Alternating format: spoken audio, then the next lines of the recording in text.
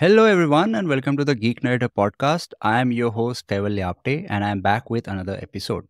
Today, we are going to talk about a streaming database called Rising Wave.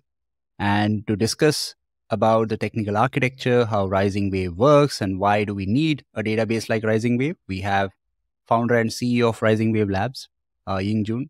Welcome to the show. Thanks a lot for joining us today. And uh, let's start with a little bit of introduction about yourself and about Rising Wave Labs. Sure. Thanks for having me here. Hello, everyone. My name is Yingjun Wu, and I'm the founder of Rising Wave Labs. So Rising Wave Labs is a three-year-old company, and what we focus on is to build the next generation database for stream processing. So basically, if you have the streaming data, you definitely want to process it, right?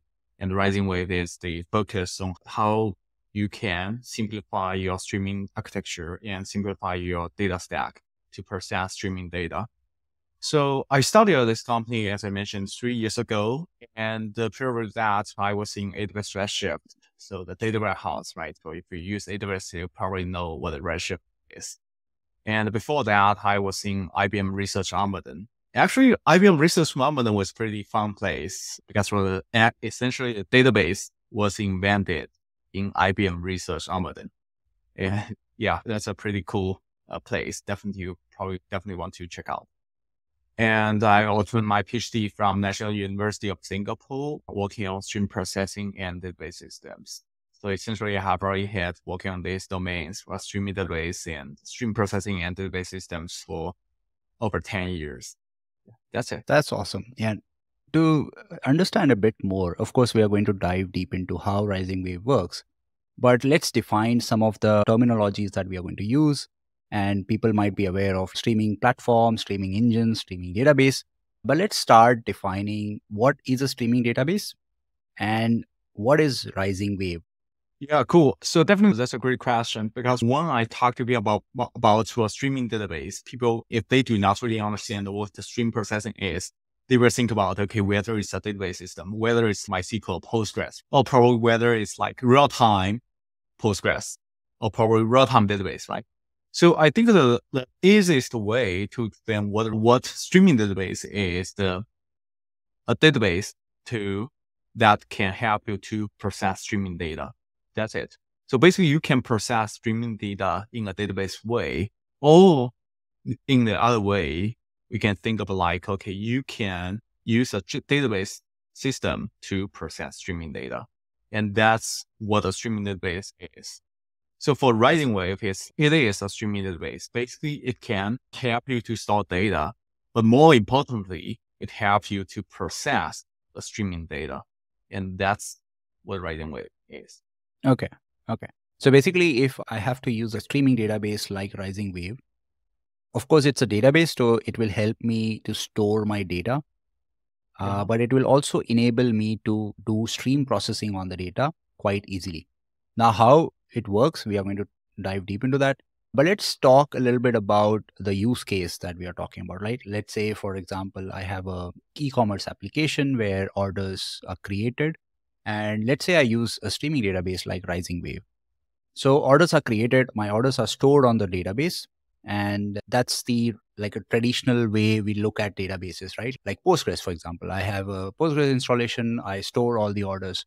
And when I want to uh, stream the data, let's say I use a solution like a CDC and then uh, stream it through Kafka or take it uh, somewhere, right?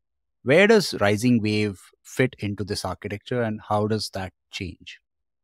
Okay, so the first thing I would like to mention is that okay, Rising Wave is not, or a streaming database is not going to replace your tra- transactional database like Postgres or MySQL. It's not okay dropping drop-in. You don't need to have Postgres or you don't need to have MySQL. You still need to have MySQL and you still need to have Postgres to process transactional workload. And you still need to have, let's say, a Kafka to help you to ingest the streaming data, let's say the click streams, right? Or probably the yeah. impression stream from the website, right? Definitely you still need to have a Kafka. But the thing here that okay, these kind of systems like transactional database and the messaging queues, Kafka, help you to store data. But at the end of the day, you probably really want to have a system that can help you to analyze the data, analyze the streaming data, right? So people will mention that probably you can just use a data warehouse like Redshift or Snowflake, right? But the thing here that okay, this kind of data warehouse is for processing, let's say, historic data.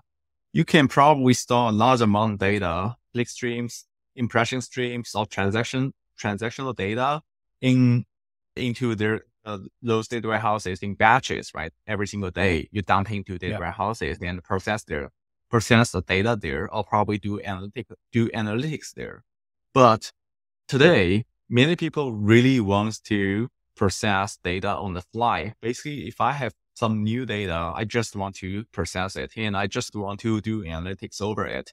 And I just want to extract the real time insights so that I can do some actions, right? And that's Rising Wave, right? Basically, Rising Wave can help you to continually consume streaming data and then process the streaming data on the fly. That's a key thing? Rising Wave works. People, people may also ask about, okay, what, why, why we need to process streaming data and what, what's the use case, right? I can give you yeah. a few, why I need to make real-time decision, right? And think about fraud detection, I think is definitely a great application, right? And another great application is like for example, by my website and I want to check, okay, what, what, oh, which ad works best? Then I mm-hmm. probably need to process it on the fly. I probably don't really want to say, okay, I can process the data tonight and then I review, okay, what ads work better. And, and, but to Rising Wave or the streaming database doesn't really just, okay, fit into, let's say the, um, the uh, I mean, can be only used by those with big techs. Think about manufacturing companies, right? Well, people may, think that, okay, such kind of manufacturing, probably their data stack is pretty old. But the thing here that, okay, this kind of manufacturing company or probably energy companies also need to process large amount of streaming data. For example, they have a factory and in the factory, we probably need to monitor the, the, the pipeline, right? So the, the manufacturing pipeline. And essentially, in the old days, what what these uh, these kind of manufacturing companies or factories do is that okay, they actually make phone calls every six hours and talk to their factory manager saying, okay, what's everything going on? So is there anything wrong happen? But nowadays, so they have the streaming data, like, oh, streaming processing system. Then what the things can, they can do is that okay, they can just ingest the data from those factories or from the databases stored in those factories and then they can just sit in the office and watch, okay, what's happening there and whether it's any anomalies occurred. So that's yep. how Rising Wave case like. And that's a great example. and I've in production, I've worked with some streaming solutions. And as you mentioned, Rising Wave or any other streaming database cannot replace your transactional store, which is like a Postgres or a MySQL database. You still need a, a Kafka to take your events and publish it somewhere else. But it helps you reduce or helps you solve your streaming use cases in an easier fashion. What I have done in production is typically, let's say your data is in Kafka. So we have, let's say, Kafka streaming libraries where we can do stream processing and also do some analytics on top of it, or dump it into an analytics data store and then run queries on that store, something like Apache Pinot or people also have flink jobs or spark streaming jobs where you know they do some stream processing do some analytics and serve queries on near real time how does that where i have a streaming engine like i have streaming pipelines i have jobs how does that compare to having a streaming database Okay, so uh, when you talk about the streaming jobs, I assume that you are talking about, let's say, systems. Well, you're using systems like Spark Streaming or probably Flink or probably yeah, some others like Samza or yeah. other streaming systems. So I think the biggest difference is how we think about it, how we can process streaming data. So if you live in the big data world, then the thing here that okay, you probably need to process the data using some low le- lower level APIs like Java, right? Like Scala. Probably in modern days, people use Python, right? if you use Spark, yeah. you probably need to use Java, Scala, and Python, right? But, but definitely, I know that's key. I mean, these kind of systems have already introduced a SQL layer, but yes, but at the end of the day, many people still use the Java, Python, or Scala APIs. But yeah. streaming database value to process streaming data in specifically a database way. That is, you don't actually have access to lower level APIs. You just have access to the SQL layer. And, but then you have the UDF. Okay. You can use well, user defined function. You can write the functions in Python. You can use, uh, write functions in even in C++, but you don't need to have lower level controls. You don't have access to a, lower level APIs, or probably you don't have access to, let's say, some detailed detailed configurations, right? You don't have access to that. So basically, if if you do not really have access to these kind of lower level APIs, you just need to think about okay how you write SQL and how you want to express your logic in SQL. That's a key. And actually, another key difference here that key. If you write, let's say, if you write an application using uh, Spark or using Flink, then you actually need to think about okay where you want to store data, mm. right? Because Spark doesn't really help you to store data, and Flink yeah. also doesn't really help you to store data. You actually need yeah. to find a storage engine, right? Probably That's data right. lake or probably a database, right? But RisingWave is a database and it's just streaming database. So essentially you can just store data there in RisingWave. That's it. Okay. That that makes sense. And since I have used that kind of a pipeline where we were using Flink and Kafka streams and also a little bit of Spark, we used S3 as our storage. Uh, some uh, legacy use cases also had HDFS and whatnot. So it was like quite a complicated architecture. But I would say it it needs that kind of level of experience to support that or maintain that kind of a pipeline hearing from you about streaming databases that all that complexity is abstracted away from the user. They just care about what kind of analytics they want to support. They have the SQL interface, which is quite a standard when people talk to databases. So I think a use case wise, it all makes sense.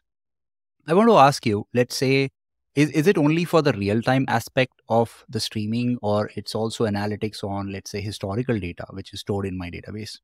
So that's a pretty good question. If you talk about the, let's say Spark, right? Well, Spark actually have the Spark streaming and the Spark, the yeah. batch processing. So that's what people say, okay, it's basically unified batch and streaming, right? And you can use the batch engine to process the stream, historical data and use the streaming engine to process the real-time data.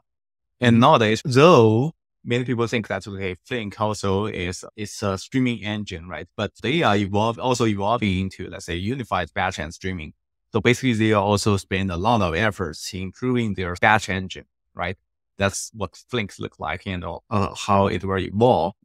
But RisingWave as a database, well, database can store data, and by default, it can process, it can store a lot of historical data, right?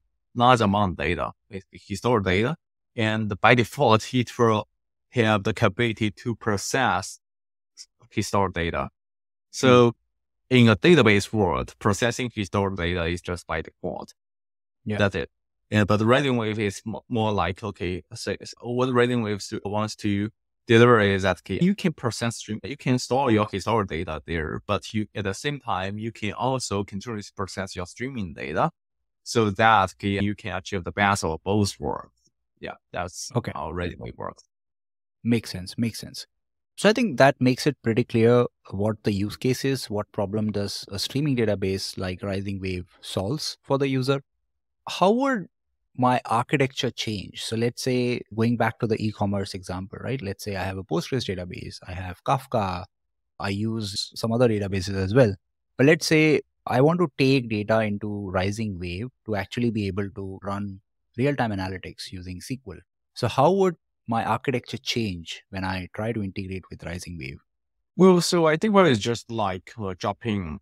So for example, you have already have Postgres to support your website and also have your have already had your Kafka to support your, let's say, to consume your streaming data, click streams, impression streams.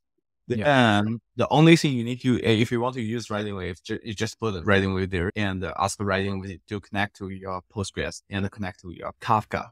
Yeah. Right. Just connect to those systems and then it will process the data. So that's it.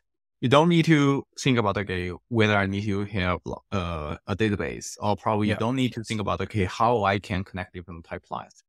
So I think there's a, uh, yeah. So if you have experience working with, let's say Spark or probably working with Flink, then you will know that okay, these kind of systems can also connect to can also connect to uh, Postgres and can also connect to uh, Kafka. But the yeah. thing here that okay, if you want to use such kind of systems, you actually need to think about okay, I have a streaming job, and I, I want to create another job to consume the streaming job's results, and then do some processing, do some additional processing, yes. right? And then how you can connect these two streaming jobs you probably need to, you actually have to have a Kafka. Or probably you actually have to have a, let's say, a S3 as yeah. an intermediary layer to connect these two systems. At the end of the day, you process data, you also need to think about, okay, how, where I can store those data. Probably in DynamoDB or probably in MongoDB or probably in Postgres or probably in MySQL. You also need to think about, okay, how I can deliver results into those systems, right? So the pipeline in Pipeline, if you use Spark or you, if you use Flink, it will become that you will have Flink, Kafka database, all these components mingled together, and uh, they, yeah, you need to figure out how to manage the, all these systems. But RisingWave will actually help you to simplify the architecture. Basically, you only you, the only thing you need is a streaming database. Why? The first thing here that it has the streaming processing engine. And second thing here that it itself is a database system. And third thing here that okay, in this how you can express your streaming processing logic in RisingWave, that is through materialized views, right? In a database system, you actually can create materialized views on top of another materialized view, which is called cascading materialized view or stacked materialized views in some context. So essentially, you don't need to think about okay, how I can use a Kafka to connect two different Flink jobs or probably choose two different Spark Stream jobs. The only thing you need to do is that create a material on top of another view. That's it. So basically, RisingWave is kind of the key the benefit. One of the key benefits of RisingWave is to all streaming databases to help you to simplify your data stack. Absolutely. Yeah, it does. It does seem it is going to take away all the complexity that one needs to implement to build their own streaming engine as compared to using a streaming database like Rising Wave. so to end the loop there, so we have the data in Rising Wave now, and in in the traditional or, or stream processing world where we had this pipelines, Kafka or Flink, we would store some analytics result in some database and then support, for example, a REST API to expose that kind of analytics, which will be then queried by some UI just to show a dashboard. So this is a loop where we are ingesting data, some pipelines are calculating some or doing some analytics, and then we expose that result over REST API. In Rising Wave or streaming database, we have a SQL query running, right? Let's say calculating last what is happening in last five minutes or one hour, and how does that loop get? You know, how does the UI uh, dashboard gets connected? So when the SQL result is emitted, where does it go? How does that connect? Okay, okay, that's a great question. So they actually introduce another topic, which is well, how people connect, visualize the result, essentially, right? Or get yeah. a result. So yeah. you have the SQL, right? And probably I cannot just, let's say, type in SQL command and see the results, right? Definitely you can do that, but yeah, it's kind of hacky. The good thing of RisingWave, one of the great things I love in RisingWave is that it's, uh, it's Postgres compatible, which means that okay, essentially it speaks in Postgres language, Postgres SQL language. And mm. it's also well compatible with Postgres, which means that, okay, as long as you have a system that can connect to Postgres, you can connect it to RisingWave. So I can give you some examples. Okay, the BI tools like Metabase, like Superset, like Grafana, like some others, right? As long as these systems are obviously barely can connect to Postgres, as long as these systems can connect to RisingWave, connect to Postgres, you can actually connect this system to RisingWave. So in many cases, our users just use Grafana, um, Superset, or some other BI tools to visualize it. Makes and sense. in terms of API, actually, we also see people, they probably really want to have GraphQL, right? Probably some other RESTful API, right? And I think, yeah, we, I think we have already delivered that. Yeah. Makes sense. Makes sense. And that kind of completes the loop when we talk about the use case and how it will fit my architecture, right? Mm-hmm. Now, there are multiple things about Rising Wave that we can talk about. But for example, Rising Wave is cloud native, SQL streaming database. Rising Wave is written in Rust. So we can also talk about that. But I know there is a great blog written by you which is quite popular. So I would uh, ask our viewers if you are interested, like why Rising Wave chose Rust as a language and how it helped. Uh, so I would add that link to the description. So please go and read that blog. It's pretty interesting. But what we want to talk about today is how Rising Wave works, right? So we want to talk about its architecture, some of the internal optimize or design decisions that we that Rising Wave has taken. So let's go through like in high level architecture. So when I look at Rising Wave, what am I looking at? Well, Rising Wave the database. That's first thing, right? And yeah. the second thing here that key, what a kind of what a database can do, basically two things. One is computation, and the other one is storage. Yeah. And for the, if you use Postgres, you will know that it's a single node database system, right? Postgres, MySQL, both are a single node database system. So basically, they put Postgres, they put the computation and storage in the same machine. That's it, right? And for RisingWave, it's a distributed system. So there are two ways to distribute the system, right? The first way is that you can probably do share nothing. Yeah, basically you partition the data into different pieces and then put this, put a, every single store, right? Partition the store into one machine. If you have three machines and just partition the data into three pieces and put those data into three machines, then do computations. And these nodes can talk to each other. That's shell nothing architecture. But the Rising Waves architecture is like shared, shell disk or shared storage. It's the shell mm-hmm. storage is S3 because it's cloud native. And uh, in the cloud, the storage, uh, persistent storage is essentially S3. So what do we do is that, okay, we put the storage in S3 and for local machines like EC2, it's, it only needs to cache data. Let's say recent data or probably hot data. You can cache the data there and you can get the best performance and you still do computation there. So one of the best, one of the biggest benefits of this architecture that it essentially decouple your computation and the storage. Okay. Storage is in S3, while computation is in EC2. So that you can get two things. First one is that instant failure recovery. And second thing here, that's dynamic scaling. So we can talk about a, a, a failure recovery first. So if you have three machines, let's say if you use shell nothing architecture and you have three machines, then what will do if one machine crashes?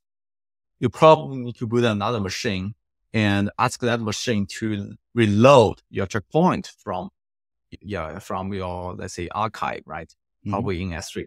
Reload the state into the new machine and then recover, right? So basically there is some recovery time, right? Because if the data is not reloaded into that machine, the system, the database will not function at all.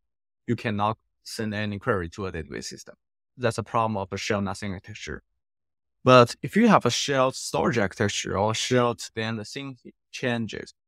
Basically, if one computation engine fails, no worries. You just boot another machine and you can directly ask that machine to fetch the data, to fetch state of the storage from your S3 so that there's no downtime at all right? Because all the state is already being in S3 and you can just load it. That's it. You can directly access it. That's it. Yeah. And similarly, dynamic scaling is also can, uh, can be done in the same pattern because if we want to scale from one machine to three machines, we do not need to think about like how we can migrate the state into from one machine to the other three machines. Basically, the thing we're happening is that okay, all these three machines can almost uh, can directly access data in S3. So that simplifies things a lot and the users can achieve instant recovery and transparent dynamic scaling. Yeah, that's a great okay. benefit of this architecture. Yeah, Th- that makes sense. And at a, at a high level, if I understand correctly, so you explain share nothing architecture, which is, let's say, used by Cassandra and some other popular databases. But what we have here is S3 is at the storage layer. So whatever data we store is in S3 and on top of that, you have compute nodes, for example, EC2. And those nodes are basically stateless. They just, of course, they cache data from S3 just to avoid a round trip, but they don't own or they are not leader or, or a primary node for any data or a block of data, right? So they always talk to S3. Any node can host or serve a request for any type of data it, is not partitioned at all. So compute nodes are basically decoupled from how the storage works. They just know how to query the data and then you can add more nodes for your compute for dynamic scaling. You get, of course, fault tolerance because there's no single node that is a leader and then there's no consensus happening and all that. And then you also get durability of the S3, uh, which is quite durable, I guess 11 nines, right? Yeah. So the high level architecture looks good and we it's pretty clear what the benefits could be. But when I'm ingesting data, for example, I have a click stream, as we talked about, I have uh, transactional data from my Postgres. And these are two event streams coming in. Let's say data is in Kafka. I, I can connect my Kafka and I can connect my Postgres to Rising Wave. How does the data reaches Rising Wave and how it reaches ultimately S3, which is the storage um, layer? So let's say that can simplify things a little bit. But let's say that you have data in Kafka and now you connect Rising Wave into your Kafka. The thing will happen is that Rising Wave will continuously consume data from Kafka, and then it will directly dump data, uh, dump Kafka uh, into S3. So basically, so the uh, uh, in this way, the data is actually persisted. But people mm-hmm. will argue that if I do uh, directly ingest the data from Kafka and then consume uh, continuously consume data from Kafka and directly dump into S3, then S3's latency can become a huge problem, right? For sure, that's true. So essentially, yeah. we are not doing, we are not like, okay, every single time I consume data and directly uh, dump into S3, we still do a little bit batching. So basically, micro batching.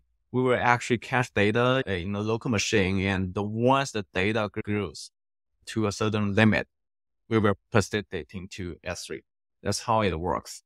Got it let, us take an example here, right? Let's say I'm tracking clickstream for a customer, let's say customer name, right? ABC, for example.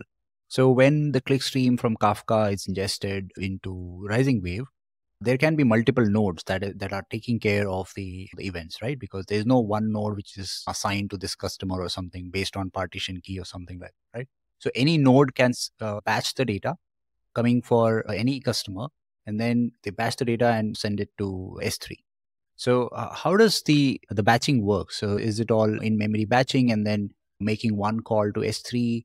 Can you share that a little bit? Okay, okay. Let's first talk about what the let's say we have three machines, right? But how how these three machines react and how these three machines work. Essentially, for these three machines, we still let's say that we have three machines and uh, all the and Rising Wave is connected to Kafka, and we still actually shuffle the data into these three machines. Hmm. And it's not okay. We have a, a thousand tuples and I just this a thousand tuple to every single machine. It's not like that. It's okay. I still shuffle these a thousand tuples into three pods. In, okay, uh, into machine one, machine two, and machine three. The reason here we do this is straightforward because we want to do load balancing, and we don't really want to every single. We don't really want to have every single system uh, processing, let's say these are thousand tuples, right? Yeah. And then let's say that uh, one machine gets, let's say 200 tuples and the other one gets, let's say 400 and the third one gets altogether 400, right? So basically what we're having is that okay, for every single machine, it will, uh, I don't know the threshold, but uh, let's say that it consumes, let's say 100 tuples. Once it hits 100, or probably a certain fixed amount of size, I've got a yeah. size, uh, I've got a threshold. Once it hits a limit, the machine will dump a batch of tuples into S3. Hmm. That's how it works. Okay. Okay. That makes sense. And how does the fault tolerance work here? So, for example, I'm streaming data, I'm batching uh, tuples in memory. And once I have, let's say, 100 uh, tuples, I try to push them to S3. But let's say this fails. So how does that work with the fault tolerance mechanism? Yeah, yeah, it's a great question. So basically, it relies on the upstream data data system, for example, Kafka. So mm. basically, in Rising Wave, it will track the progress, so-called progress, where it's like offset in in Kafka. Yes. Okay, how, where where it percent? Let's say that if a machine failed before consuming, before persisting data into S3, then it will actually retrieve the same once the data recover once the system recovered, it will ask the Kafka to send exactly the same batch, uh, same data from Kafka to RisingWave. So people will wonder, okay, what if, oh, why we have such kind design? This is literally a database design. In the database world, we have the famous so-called write-ahead log. Every single database have the write-ahead log. And how red hat log works is, okay, it will basically do the manual batching in, in the, in, in the memory. And once we got enough data, then we shuffle, uh, when, then we flush data into S3 or pro into disk. That's how database work. And RisingWave is a database and it adopts exactly the same mechanism. That that makes sense. and so basically this depends on the write-ahead log and it won't commit That's right. to Kafka that these, these are the offsets I have consumed. And if something fails, it will try to reprocess from the previous offset.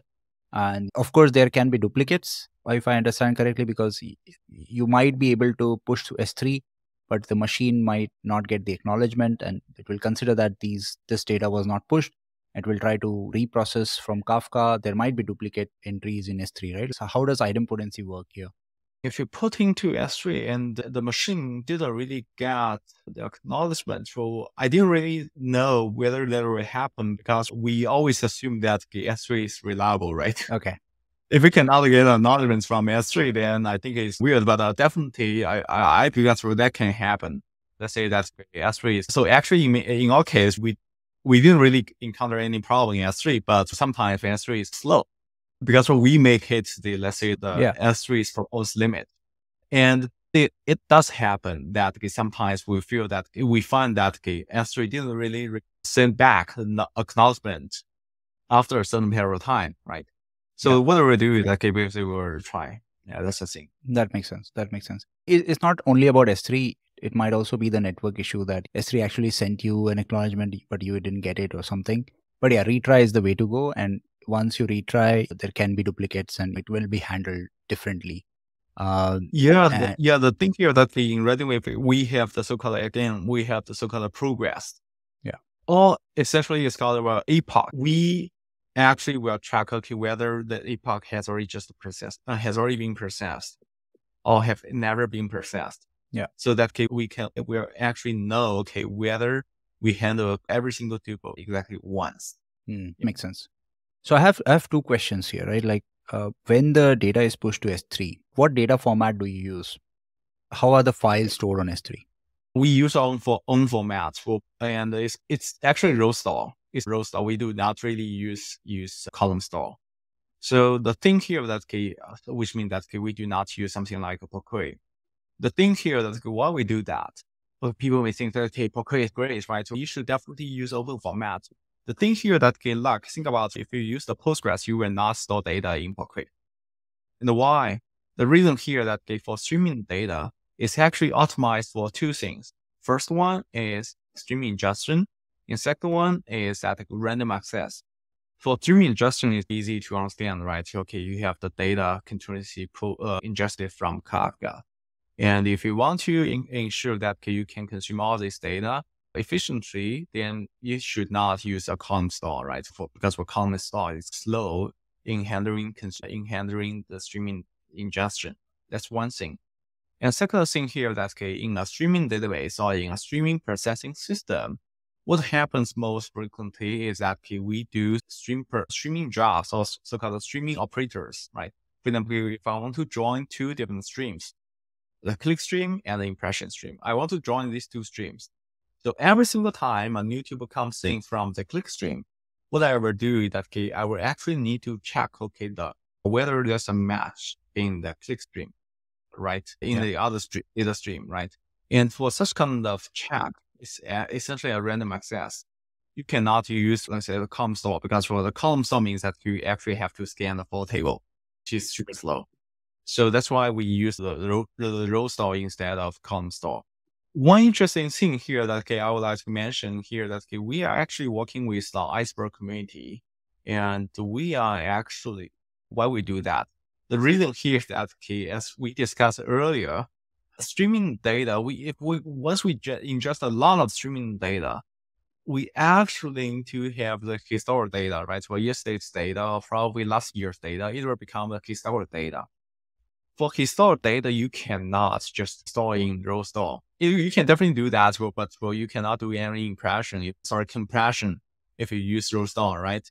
So yeah. what we do is that okay, we actually paradoxically dump the data, convert the data from row store into column store and store in Iceberg. Okay. Why we store in Iceberg? Because for or some other data lake format, right? For I'm not just sticking to, we're not sticking to just Iceberg. We can do Hudi or probably uh, Delta Lake, right? We can yeah. definitely do that. So why we store in data lake format? Because also uh, in this way, some other data engines like Presto, like uh, in in AWS is AWS, these kind of systems can access the data stored in data data lake format. Mm-hmm. That's why we do that. Okay, okay, that makes sense. so basically, you have your own format. It's not column store; it's row, row based. And the reason, if I understand correctly, please correct me if I'm wrong, that the reason is you also want random access because you want to join different streams, and doing that on a column store will be inefficient because you might want to join on different columns and all that. So that that makes sense. And then since you you have historical data, periodically you convert that row store data into column store and store it somewhere, for example, Iceberg, to also support your historical queries. I think this all makes sense. Let's talk a little bit about. So, you mentioned you are joining two streams, right? Let's say your click stream with, I don't know, order, transactional order, for example. So, these are two streams.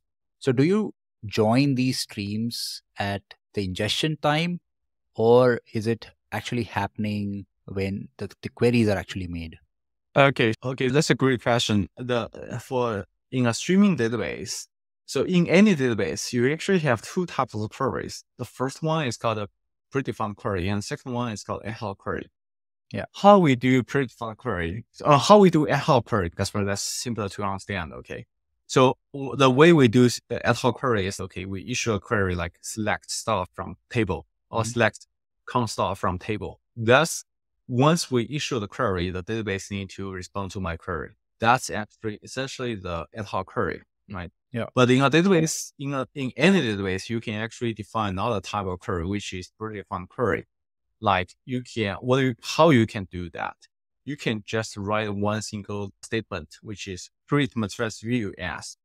For example, I can write a statement called create materialized view as select star from T, or probably select count T, uh, count star from T.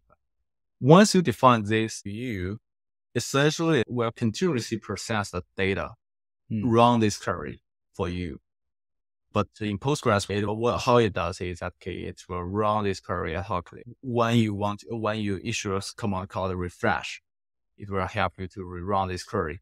But in some systems like Snowflake, more advanced systems like Snowflake or probably Redshift, what we do, uh, what this kind of system will do, that's where they will automatically refresh the materialized view for you. So RisingWave is also can handle both predefined queries and ad hoc queries, but its focus is on predefined queries.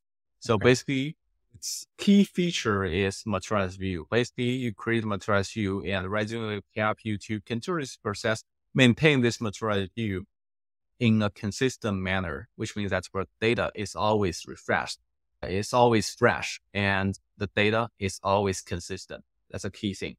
So one, so back to your question, if we get two data streams coming in and I have already created, I have already created my view to join these two streams, then what will happen is that, okay, once the data is consumed from the Kafka, so basically once the data hits into Wave, then Writing will process the data before storing this data. So that's how things work. Yeah. That, that does make sense. And most of the times when I want to use a streaming database, I also know what kind of queries I want to support, right? Like I, I know what kind of uh, SQL queries I want to support and what kind of joins I want to make. So I think predefined queries make a lot of sense and would support 80% of my use case, for example.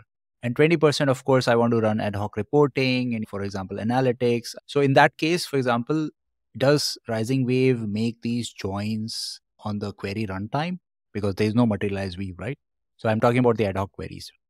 So how does that work efficiently? So if you just want to run ad hoc query, let's say SNT in any condition, right? Yeah. If you run, want to run such kind of statement, then the thing becomes that you just issue a ad hoc query. And what RisingWave does is that just like a Postgres, probably just like a Redshift, and it handles with a, a strong the join for you. Yeah, that's Okay. it. The definitely we made a lot of while RisingWave is let's say a streaming database, we actually made a lot of efforts in improving the ad hoc query performance. So what do we do is that we use the vectorized engine. So basically the, everything is vectorized. That's how we can accelerate query processing. Okay, that makes mm-hmm. sense. So yeah, okay. So we now have predefined queries and also ad hoc queries. Coming back to the the statelessness or the stateless behavior of the compute nodes, right? So my query can go to any node. Let's say I'm running a query for on a customer ID. I want to aggregate some click stream and I want to know what the customer has done in the last one hour, for example. And I want to, I, I have the uh, materialized view and all that. Now, since my query can go to any node, how does the aggregation of data happen? So, for example, I am querying for last one hour, and my query is handled by one node. How does it aggregate from based on the time that it requires? Let's say in S3 we store data until let's say 100 tuples are collected, and those 100 tuples were collected, let's say in last one second, depending on the pace. Now, but I'm querying for last one hour data. So will it end up querying a lot of S3 buckets or how does that work behind the scenes? So the thing here, the key, look, RisingWave is treats S3 as a primary storage, which means that state is actually maintaining S3.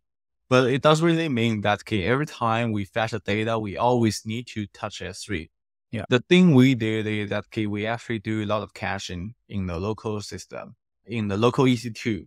So most of the time, if you want to do aggregation, we will actually only access a local cache unless there's a cache miss occur, right? Yeah. If there's a, a, a cache miss occur, then definitely you have to go to S3. And essentially that's also, also how Snowflake works, right? Snowflake also treats the only maintain the local cache in EC2.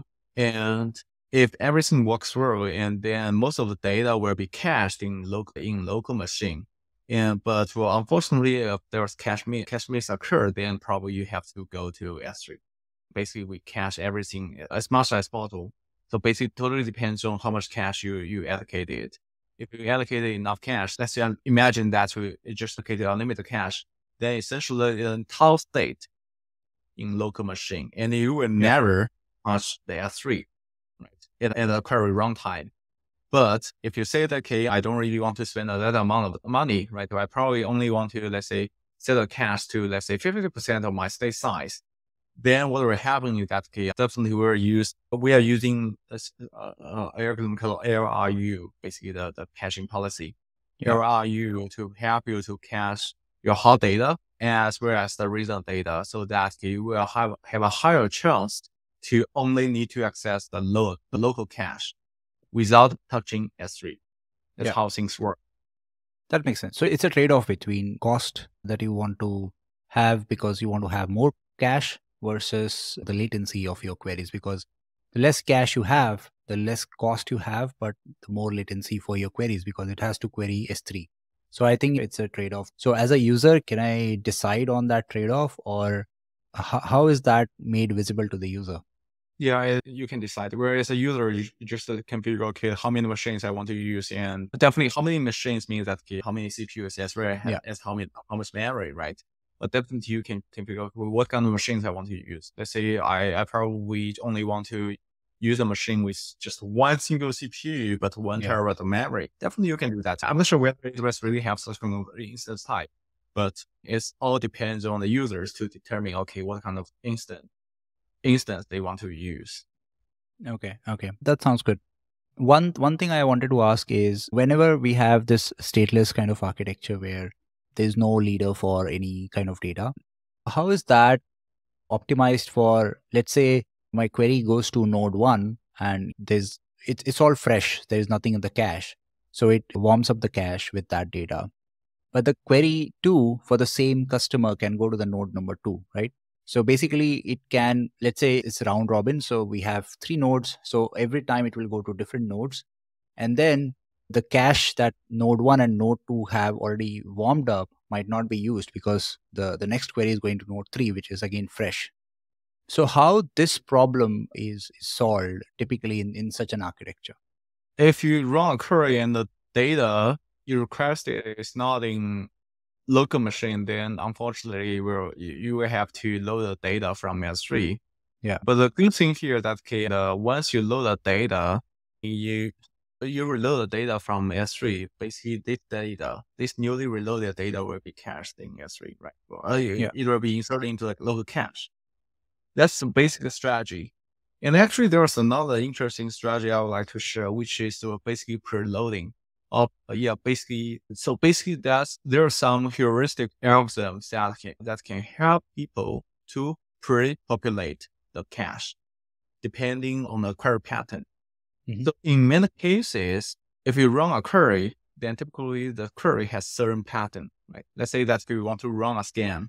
We want to run the run the table scan in, let's say, in Redshift, right? Then Redshift will, uh, once Redshift accept this query, it will know that, okay, look, this guy wants to access, once the, this guy wants to not just access the first block, first uh, data tuple, it actually needs to, this guy probably really want to access the entire table then I can actually preload the table from S3 into my cache or from my disk into my cache so that I will never need to access data from the, let's say the local disk or from the S3. Essentially, RisingWave does exactly the same thing. In stream processing, we actually have a pattern. Let's say that we want to do joins and we want to do aggregations. Well, they, this kind of data curve, these kind of curves actually have their specific pattern. And we just optimize the caching policy for such kind of query. Mm. And also another interesting thing I would like to share is that it's probably different, a little bit different cache, but uh, it's more about about caching the query pattern. So different queries have different patterns, right?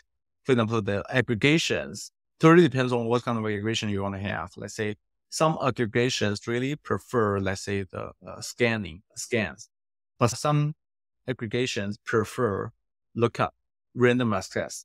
Mm. In RisingWave, we actually optimize the data format to this query pattern. Once we receive the query per different query, we actually know, okay, what kind of query, what kind of query pattern it will look like. And then we will define the query pattern like that. Okay. That, that makes sense. Let's talk about the Postgres compatibility part because that is another very important part which leads to the adoption. Let's talk a bit about what kind of compatibility do we mean when we say Postgres compatibility? Okay, so in terms of the compatibility, there are different layers or uh, different levels of compatibility. One is that, let's say, the, you are compatible, you just allow people to write PostgreSQL. Yeah. Right. You only, so basically you just use exactly the same SQL dialect as Postgres. Yeah. Right. That's a basic, that's probably, let's call it level one. And level two is you are well compatible with Postgres, which means that okay, you actually share exactly the same communication pattern or probably communication protocol with, with Postgres. In this way, it means that, okay, I can talk to anyone that can talk to Postgres. Let's say, okay, now we both speak English, right? But yeah, some databases may speak, uh, some other guys may speak Japanese, or some other guys may speak, speak Chinese, right? And yeah. some other guys may speak Spanish, right? They speak different languages, but we speak this right now. We are speaking the same language so that we can communicate. Basically, in Postgres world, it's the same thing. Postgres yeah. speaks Postgres language, and we also speak Postgres language. So we can actually communicate with anyone, any system that can communicate with Postgres. So that's level two. And level three is more, more advanced. It's basically, it's okay, Postgres fully compatible, which means that you can be compatible with, let's say, Postgres plugin, right? Postgres support all kinds of plugin, right? And in some extreme cases where people will ask for, let's say, we, let's say we want to have the, let's say, for Postgres full compatibility, and we also, uh, we want to have exactly same experience like Meta using a Postgres. Like we have the configuration list, right? Parameters, right? I just want to set the parameters in the same way as setting parameters. So Postgres, that's probably level three, which is means that's for full compatibility.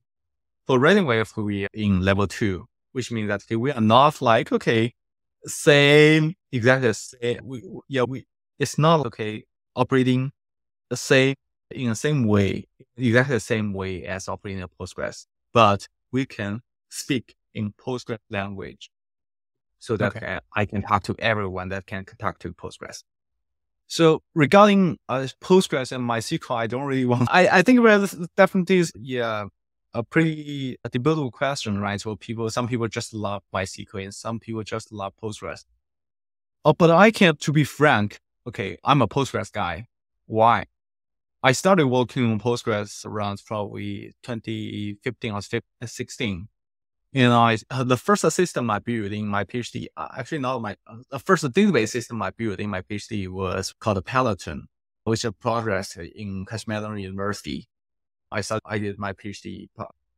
I spent one year with Andy Pavlo, the PhD, the Mellon professor, working on database systems. And for that database, we are Postgres compatible. And after that, every single database I built was Postgres compatible. For example, Redshift. Redshift is also Postgres compatible. So I actually have the impression that I, I have the background about, okay, dealing with Postgres. So I love Postgres ecosystem. And I believe okay, uh, and uh, many other guys also love Postgres. So yeah. I choose to be compatible with Postgres. Okay. Yeah, that's fair, I would say. What's in the uh, future though? So, for example, as we talk about storage layer being used, AWS S3 being used as a storage layer, do you also want to support more storage layers? For example, if people don't want to be on AWS, for example, they want to uh, be on GCP. So, is there future plans to support multiple cloud offerings or not tied to one cloud? Or how does that work in your view? When, when people say that okay, S3 is a primary storage, at least for me, I just mean that the object store is a primary storage. So I don't really, yeah. So for RisingWave, it, it, we actually have RisingWave Cloud operated in all these three cloud providers, GCP, AWS, and Microsoft Azure.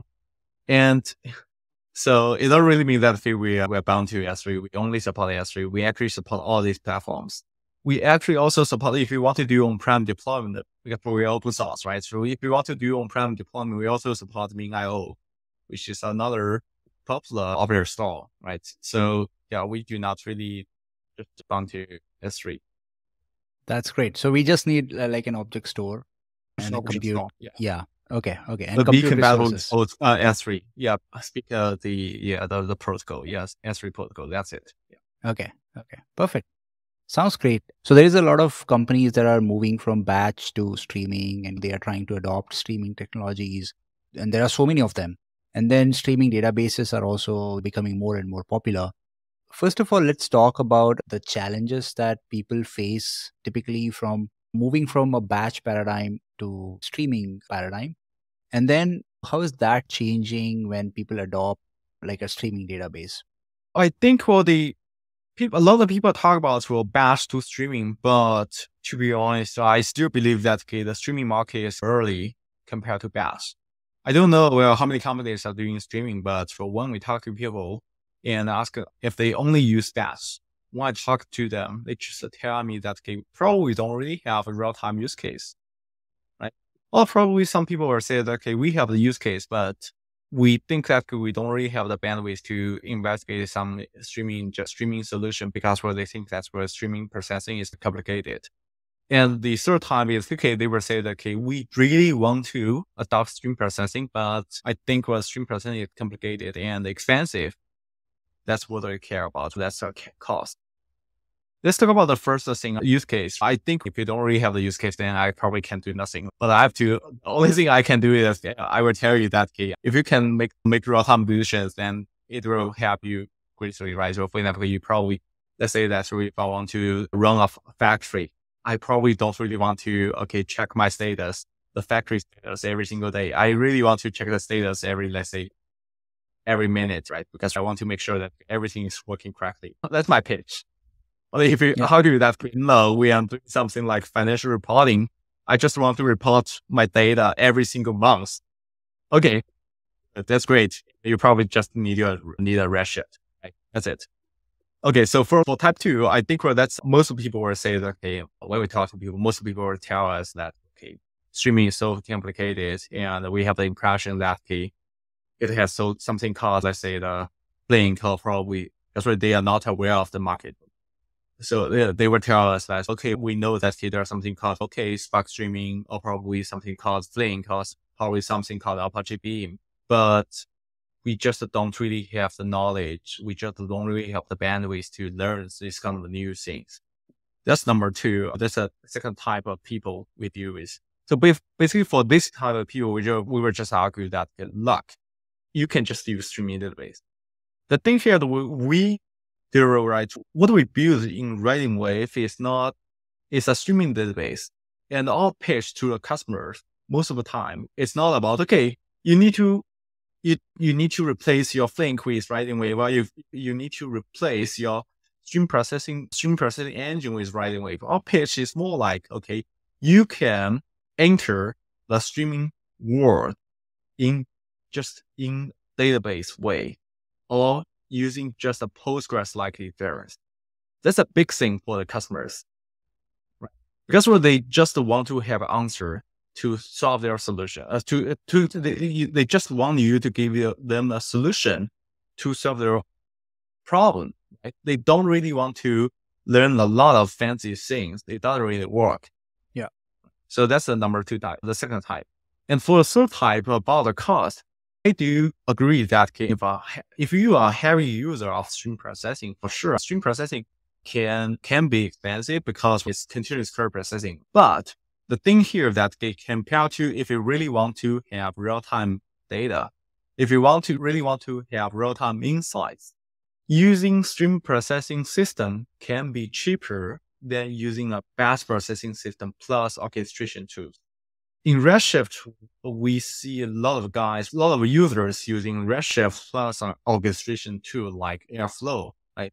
And they just run the query, exact same query every single minute that's how things work. Then essentially you will find that this kind of pattern could be very costly. Why? Because every single time you trigger the query, let's say every single minute you trigger the exact same query, you actually do the computation from scratch. You yeah. just uh, do the full computation, do the full table scan, and then run the full table query for a uh, full query. That's how you how you do, right? But in a stream processing system, what it does is that it does incremental query processing. Basically, you do not need to process your data from scratch. You do not need to run exactly the same query from scratch. You just need to process the newly created data, the, the new data, the yeah. new, the delta. That's it. I mean that you probably don't need to process, uh, do a full table scan. You just need to process, let's say, the newly ingested 1% of the data. That's it. It's much cheaper than doing Snowflake or Redshift plus orchestration too, if you really want to have real time result. Yeah, Absolutely. Absolutely. And I think that's a great way to look at it. Of course, if someone does not have any real uh, time use case, of course, if they want to do reporting, let's say every month, as you mentioned, totally streaming is not for them. But for anyone who want to support real time use case, streaming is the way to go because it can be cheaper, as you mentioned. And using a streaming database uh, takes away a lot of complexity and abstracts away the lot of complexity that you may have to have in your architecture if you have to support streaming pipelines on your own. So that makes sense. Unfortunately, in the interest of time, we have to yep. end this amazing session. But I, I, think we have covered a good amount of breadth at a high level and also depth when it comes to how RisingWave works. It was lovely to chat with you to understand all the optimizations, all the things related to the architecture, and also from the world of streaming, how companies and people are thinking about it. So, thanks a lot for joining us today. I'm going to add the link to the blog in the description so people can take a look. Yeah, thanks a lot for joining us today, and I, I'm I'm sure our viewers are going to learn from this session. And on the idea of using S3 or an object store as your primary storage, we should definitely collaborate more on on that in future. Yeah, definitely. IPS where everyone knows that K recently re- it was just announced uh, the so-called low latency S3, right? But that's definitely yeah. a huge change to market. And I believe that we can definitely benefit from, from that. And let's see. Yeah, we can definitely discuss more on that topic. Awesome. Thank you. All right. Thank you. Thank you so much.